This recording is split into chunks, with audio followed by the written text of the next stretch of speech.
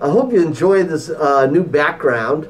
Uh, Mr. Jones and uh, Miss Morris put this up, something that I had won at a, a raffle. Uh, this was actually made by Audrey Seaton, one of the famous Seatons, uh, and donated as a fundraiser. And at a, a, fundraising auction, I was able to win it, and I'm just so excited to have it as our background. Um, yesterday, just to recap, some of you did not hear that. Uh, I just want to remind all of you, we're now got three weeks before the end of the semester, two weeks before finals. That means we got to make sure work and all the things that you need to get done get completed and you're studying and preparing for the finals.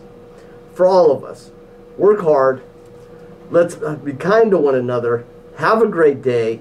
And now I turn it over to Miss Tower. Welcome back, Cougars.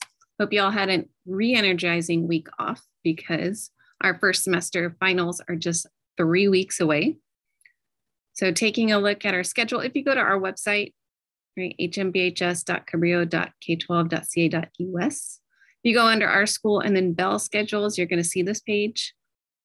Down here would be our final schedule. So, the week of finals, Monday, December 13th is just a normal Monday, normal Monday schedule. Tuesday, December 14th if you have a first period, then your final will be that day from 8 a.m. to 10 a.m. The rest of the day is the normal second through seventh schedule with modified times. So if you don't have a first period, you start the day second period, you're going to start school at 10 10 a.m. on Tuesday, December 14th.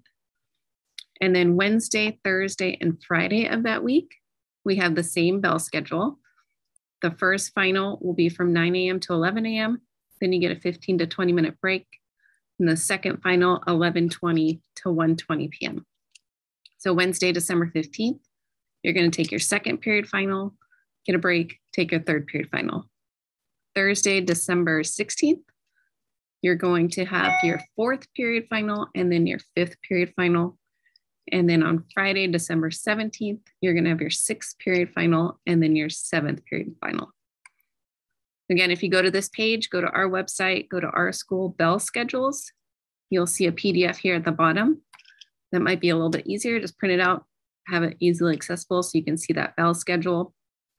Also on this page, just to point out modified bell schedules, all the days throughout the entire school year where we have a modified bell schedule. So for example, when we have a Super Tuesday and then that Monday before is actually a Tuesday bell schedule. So all of that is on that PDF something else that would be good to print and have out.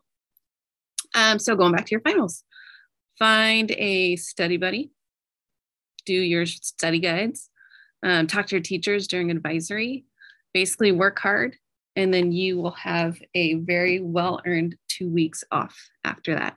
So good luck, everyone, on your finals. And um, just a couple weeks away, three more weeks, and you get a little vacay.